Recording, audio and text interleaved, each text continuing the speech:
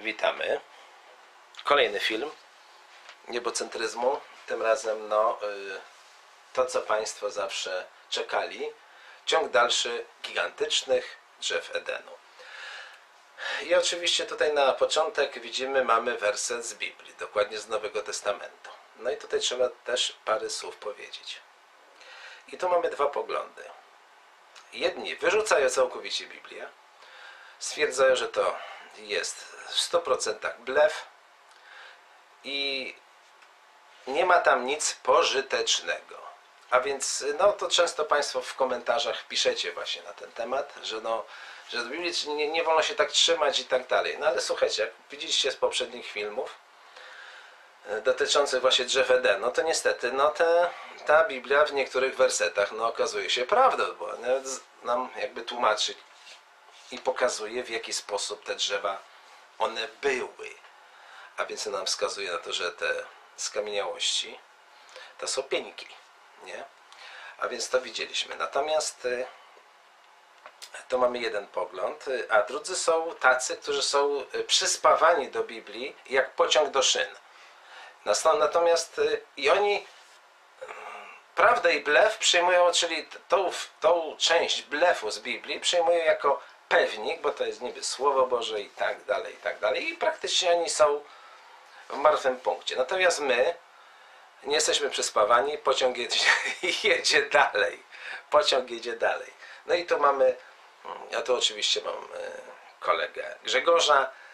No, a, tak, Grzegorz się przywitam. No i teraz y, musimy wytłumaczyć, dlaczego zastosowaliśmy ten werset z drugiego listu Piotra. Zakładając, że Nowy Testament czy Stary to jest mieszanina prawdy i kłamstwa. I teraz dlaczego akurat ten Grzegorz wytłumacz, dlaczego zaczynamy od tego wersetu, a będziemy tutaj o drzewach dalej mówić. Będziemy mówić o drzewach oczywiście dalej. Tu mamy werset bardzo ważny. To Piotr y, na, w liście O ile Piotra. on to pisał. O ile on to pisał, to y, chodzi o to, że ludzie wcześniej, powiedzmy, że ta Biblia była pisana, tak jak mówią oficjalnie 2000 lat temu, to, to coś wiedzieli. I, i, i Coś tak wiedzieli, Pół, coś półsłówkiem jakieś można y, od nich się rzeczy dowiedzieć. I tutaj mamy właśnie Piotr. Piotr y, napisał coś takiego w liście o tym, że y, Ziemia powstała z wody. Jak, jak to możliwe?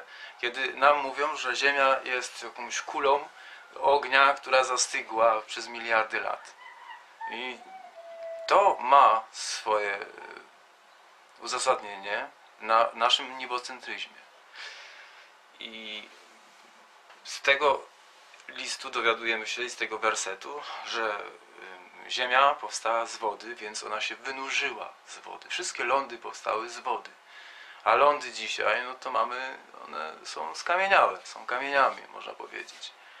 E, Różnych, różnych, to są związki różnych minerałów, ym, pierwiastków, cała tablica Mendelejewa. Ale y, tutaj przy tej okazji, skoro Ziemia była wodą Na początku. na początku, to w niej powstały właśnie rośliny W wodzie. w wodzie. I, I tą wodę pochłoniły, no, rosły w niej, pochłoniły i Pochłonęły. Tak? pochłonęły, tak. I rosły, wykorzystując właśnie potęgę tej wody. I te pozostałości, które są, e, można zau- e, zaobserwować m, w archeologii. To są artefakty, które zostały e,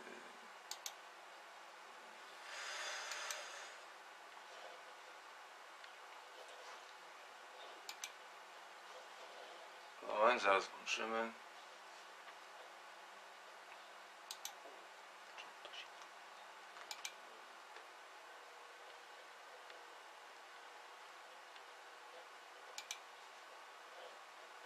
O tak, włączyło nam się. E, To są właśnie struktury, które zostały po Drzewach. po powodzi, po, nawet wcześniej, bo zaraz też do tego wrócimy, ale powódź jeszcze zrobiła swoje E, skamieniało wszystko, te, No. znaczy się rośliny i to są struktury roślinne, które są bardzo potężne i wyglądają jak skały, ale to y, były rośliny, które rosły aż do nieba. No właśnie, dobra. No i teraz tak, może zatrzymajmy to, bo to jest trochę tutaj pytań. Mamy takie pytanie, właśnie, co spowodowało, że one zostały skamieniałe? Że one skamieniały właśnie. Jak twoim zdaniem, co to spowodowało? E, Na pewno to spowodowała woda, ale też i elektromagnetyzm.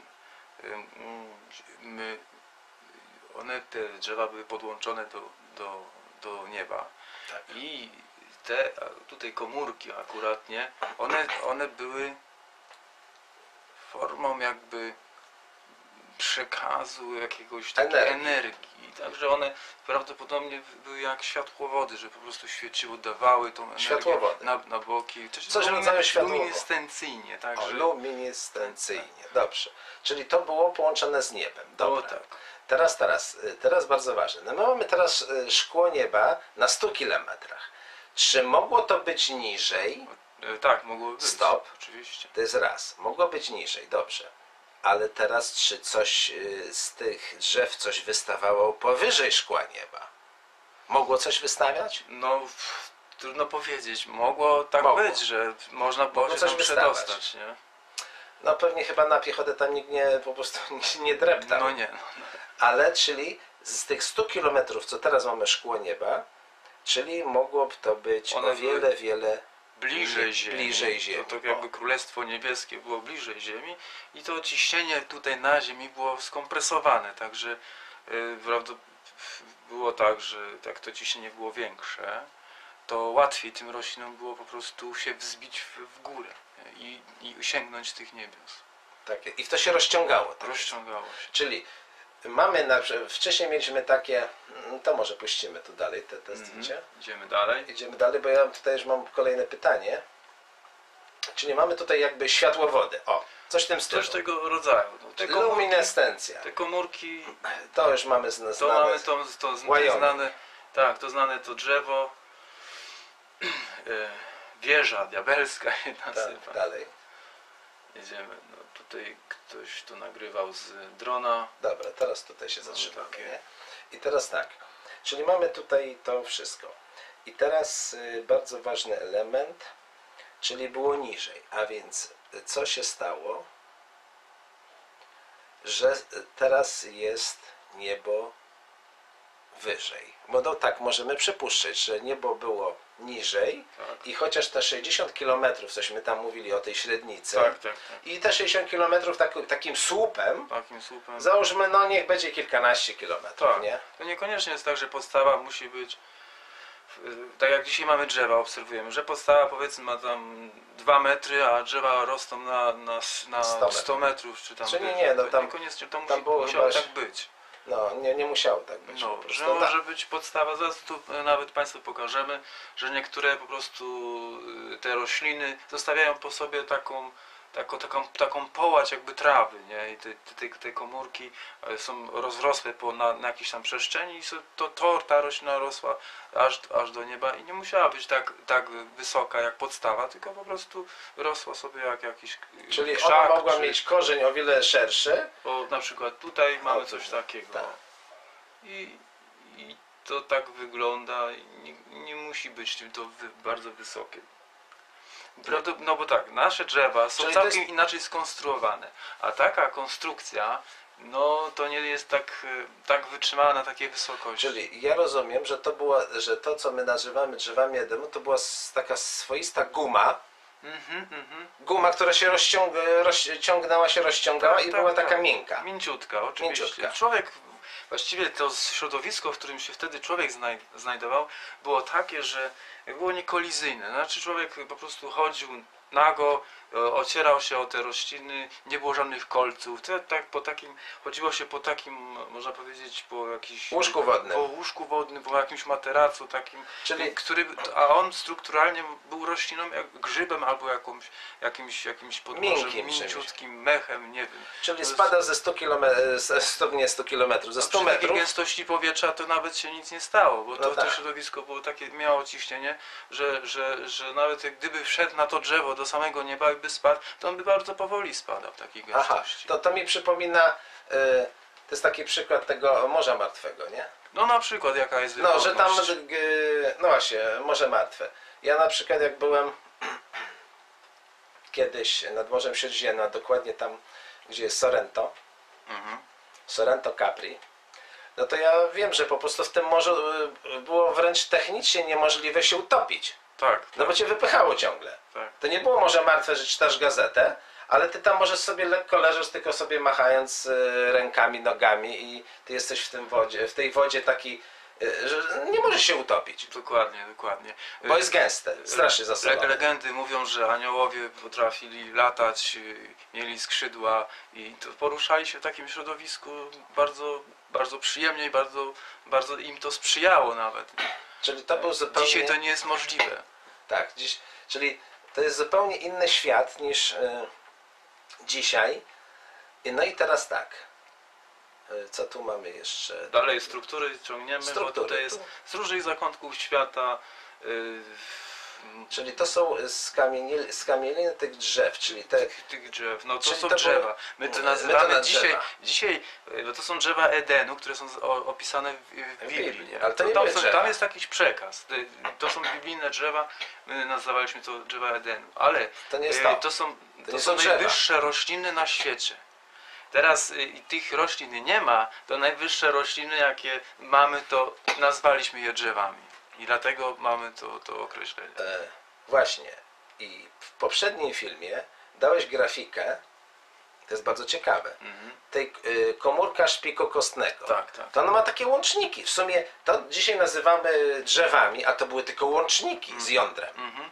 Łączniki, czyli te drzewa to praktycznie to są łączniki. Tak. To wcale nie muszą być drzewa z jakimiś koronami, tam cudami na kiju. Nie, nie, nie, nie niekoniecznie. To, to tak mogło To jest, być. to są tylko takie łączniki między ziemią a Te- niebem. O, Te, to, to, to powiedzmy... tylko to nazwano w Biblii drzewami. Tak, tak. No żeby jakoś, no żeby sobie jakoś to wyobrazić, że to jakoś ta drzewa, no bo jakiś był słup, a więc jakieś tam owoce z boku, gałęzie, jakieś coś takiego, nie? Dobra, Tutaj przerywamy, to to, przerywam. To już jest y, koniec z tym. Mamy jeszcze film, który No i pokazuje teraz, na przykład grzyby. no tak. Puścimy go zaraz. Y,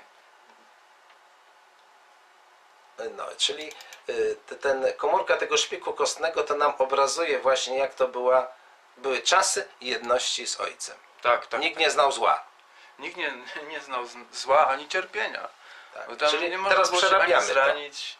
Teraz przerabiamy zło, ale wtedy było jedność z ojcem i te łączniki praktycznie to było, o teraz to mamy te grzyby skamieniałe, tak? Tak, to są grzyby. A znajdziemy owocnie tych grzybów.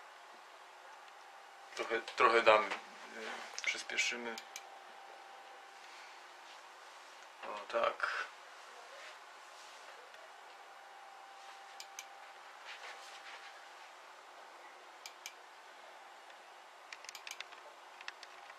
Takie Coś.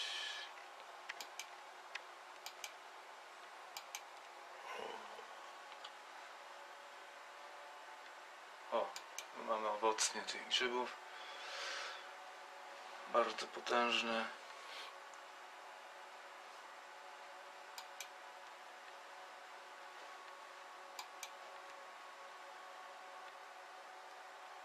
Skamieniało, wygląda to w ten sposób. Co wszystko prawdopodobnie było grzybem, a te to są wyrostki z, ty, z tego pnia g- grzybi, grzyblicznego. Można sobie wyobrazić tak, że był powiedzmy muchomor, miał potężny kapelusz, a pod nim były takie właśnie e, wystające, rosnące o, o, następne jakby grzyby z grzyba. Tak jak teraz mamy na, e, na drzewach też, że drzewa potrafią z, z, wyrosnąć z drzewa innego. Jakieś rośliny są zaszczepione do drugiego i wykorzystują. No, czyli taki to był ten świat y, grubo, grubo przed potopem. Bo Grubo, grubo przed potopem, bo Czyli potop e, to dopiero wykończył całkiem zatrzymajmy to. to środowisko. Zatrzymajmy to i tutaj co chcemy jeszcze powiedzieć. I teraz tak, co się stało? No właśnie, bo tutaj były poglądy, ktoś ściął drzewa. No i też, że my nawet w poprzednim filmie mówili, że, że jakby tutaj aniołowie ścieli te drzewa, Tak, nie? tak, tak. Ale pytanie, czy to, bo nam się tak wydawało, że to y, aniołowie ścieli drzewa, nie? No bo tak na logikę wychodzi, jakby drzewa, no to zostały ścięte. No to wszyscy myślą, gdzie są y, te, gdzie Narzędzia. są, no, znaczy, no narzędzia to jest raz, ale y, no, gdzie jest pieniek? Korona drzew, czyli powiedzmy to by zajmowało jakieś ogromne połacie, no bo jak 60 km zetniesz, jak się pień położy, ho ho, no to w tym momencie zmienia postać rzeczy, no to to jest ogrom drzewa, na przykład na 100 km, czy tam Tak, ileś, nie? tak. No to słuchajcie, 60-100 km do tego, no to byłoby zawalona cała ziemia po prostu tymi drzewami. To jakby tutaj potop wykręcił się, nie? W jaki sposób on by tutaj powstał, nie? W tym momencie, nie? Który by zalał całą ziemię. Nie? tak, tylko że te drzewa to one Stop. były wodne. Stop, stop. To, no właśnie, to są światłowody, czyli to jest One woda. miały wody w sobie, dużo. Tak, I one oddały tą wodę i dlatego stał się potop. Jak to zaczęło, No to Jedna z, jedna z e, Tak, powiedzmy z wersji, nie? W porządku. To już tam z tym potopem to my sobie trochę jeszcze poczekamy, zanim coś tam się wypowiemy ostatecznie na temat potopu. Mhm. A co chcemy tutaj powiedzieć ciekawego, że e, właśnie co się stało właśnie, że to nie było obcięte przez jakieś tam piły laserowe i takie cuda, że tam nie chodziło, że aniołowie to odcięli, czyli coś się stało. coś się stało. I, Jak to było skonstruowane? No, no, no dobrze, konstrukcję mamy, że jest łącznik, te, że te, te drzewa to praktycznie są łączniki. Tak, łączniki z niebem. Z niebem. Ale No i teraz- było blisko. Tak. tak. To było rozciągnięte, tak? Na ileś kilometrów możemy przypuszczać, na jakąś wysokość. Jakąś. No, nie Ale to nie musi, tu- to nie dzisiejsze na 100 pewno nie, na pewno nie 6000 kilometrów tak? No, no, do centrum, do, Tak. do jądra wszechświata. tak. Czyli to było do szkła, e, szkła nieba. Do szkła Do szkła nieba. nieba, tak. Do szkła nieba. I też tego szkło niebo, magnetycznego szkło niebo było bliżej, bliżej, bliżej Ziemi. Ziemi. gdzieś. Tak, szkło nieba było bliżej Ziemi. I teraz tak, y, ja tutaj jak z Tobą rozmawiałem, tak zrozumiałem, że y, to szkło nieba poszło do góry. Tak, ono Roś- uciekło, ono uciekło, wróciło, jakby zamknęło się w sobie. Zmniejszyło I swoje... odcięło, od, odcięło te odcięło się od ziemi całkowicie. Nie? Tak, i I te, to pole magnetyczne, które było z, y, y, z połączeniem y, z ziemią, z całym tym życiem, to ono się rozciągnęło do środka. I, i przesunęło się na 100 kilometrów. przesunęło się tak, ale jeszcze to centrum, A, a, a centrum zakryło się, jeszcze, jeszcze się w głąb przesunęło. jeszcze się w głąb Tak. przesunęło. Tak. I teraz, y, czyli w tym momencie, jak się y, przesunęło szkło nieba na 100 kilometrów do tej granicy, Mhm. no to to się rozciągało, rozciągało i po prostu się ucięło, automatycznie się odłączyło Odłączyło się. Tak. i się skurczyło. Skurczyło się, tak. Ta cała energia wróciła do środka. Mamy pieńki oderwane jakby. Tak, one nie są ucięte, one nie są oderwane. ucięte tak jak to by drwal uciął, czy jaką właśnie... Chociaż robi takie wrażenie. Takie tak wrażenie, taki stół jakby zostaje, nie? Yy, taki płaskowyż na tym. Ale to jest, to jest odcięte yy, w całkiem inny sposób. Nie mechaniczny, tylko, Magnetycznie. tylko magnetyczny. To, jest, yy, to są siły... Wyłączenie. To są siły elektromagnetyczne, to Y, mm, wyłączenie, tak właśnie. To jest dokładnie. powiedzmy, o wyobraźmy sobie jak y, na złomowisku samo, taki magnes y, bierze ten samochód, łapie go tutaj za Łapie. ten dach i go podnosi. I Mhm. wystarczy wyłączyć prąd Tak. on i ten spada. samolot, znaczy jest samolot, ten samochód spada. Tak jest, I to jest właśnie na tej zasadzie. tak jest. Mamy takie doświadczenie zrobione. Łyżka, y, pod Łyżka, prądem, która, łyżka pod prądem właśnie, która symuluje właśnie to niebo Tak. y, y, magnetyczne. I to taki jest jakby ta łyżka to taki wyrybek tego nieba pokazuje. ale jest to bardzo ważne doświadczenie, żeby tak sobie zobrazować, jak, to, jak, jak, te, jak te rośliny y, funkcjonowały w tamtym środowisku. I puścimy sobie ten filmik. Y, I, znaczy te rośliny i ten, te łączniki. I te łączniki, tak. Ja to już nazywam łączniki. Bo Już to- drzewa, no to, to bardziej łączniki. Dzisiaj światłowody wykorzystujemy do przekazywania informacji. I to ten, i to tak Ziemia też prawda, tak mogła wyglądać, bo to, te informacje były przekazywane do, Tak. do, do Ziemi właśnie z, z, z nieba. No dobra, teraz przelecimy. Ten film.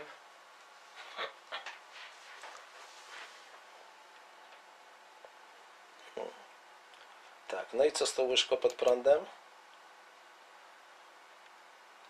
Zaraz nam się ona tutaj... Ona Tak, zaraz nam się włączy.